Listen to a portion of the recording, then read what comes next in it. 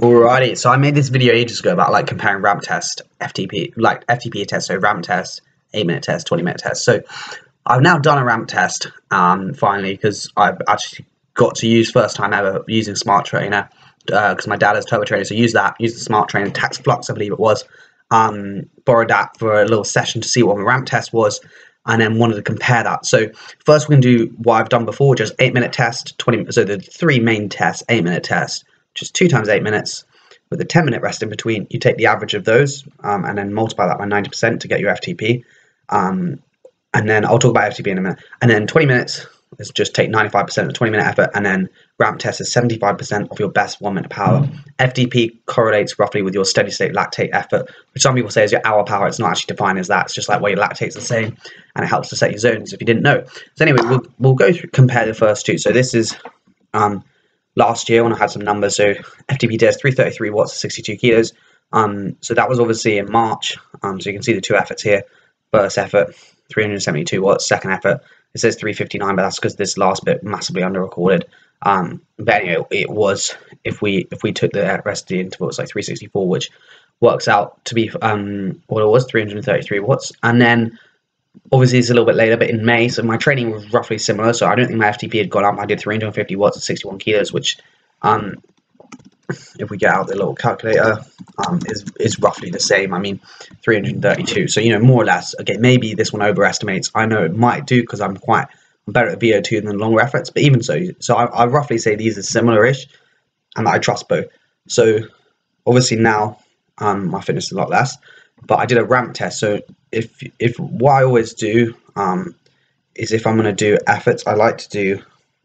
So normally what I do is I have a Tuesday, so just finished a big block, 16 hours.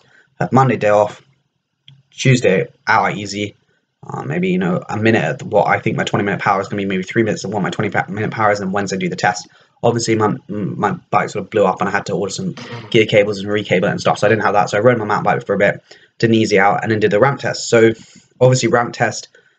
Um, I will give a caveat that it was stuck in my 11 because the bike shop decided to cut my cables. They were checking it and cut my cables, so I put in the 11, which I really didn't want because I wanted it in the 28 because I knew there could be some issues. So if you if you look at the beginning of the ramp test, it's 200 watts, but that's literally because I couldn't get it lower because if you I didn't realize this until after, but on like a smart trainer, if you're in the 11, it just can't give small enough resistance for you for you to actually handle that. So obviously this isn't ideal because it means you're doing like 200 watts when you shouldn't really be. So that could have potentially be why I underestimated it. I also didn't have a fan, but so obviously you know it's going to be lower.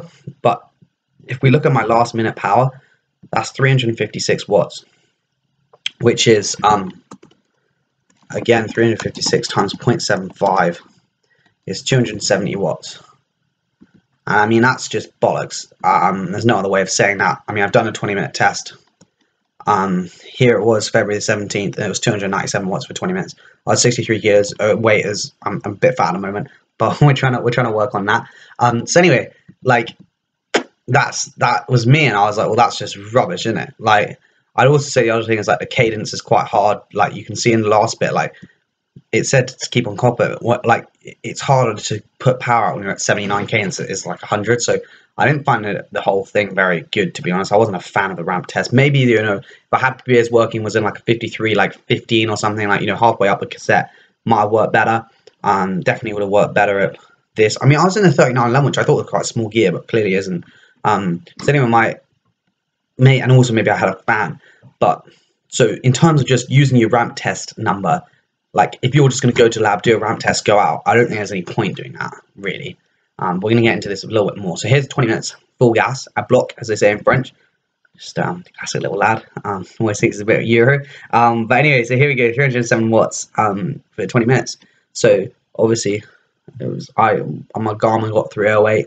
I'm going to say it's 308 because well, it just makes the numbers a bit easier. But anyway, 308 watts was um what we did. So obviously that is going to give a way higher FTP of about 293, which is what we expected because I I'd done some decent numbers in training. It was actually lower than what I expected, but you know, it is what it is. But therefore, you can see immediately what my conclusion is going to be. Obviously, n equals one, not big sample size here, but I still think it's useful to think about like there's no point doing a ramp test unless you train indoors, in my opinion, or you're used to training indoors. Like you have to do some of it. Like there's no point like doing all your intervals outdoors and then doing a ramp test and setting your power numbers from that. I just do not understand the point because it's just not the same. Like, it'll be like me doing all my intervals at 60 cadence and doing my ramp test at 90 cadence or something. It's like, well, that's irrelevant because you, you not, can't repeat it. I mean, that's for me. I, I always find it hard to do more power inside.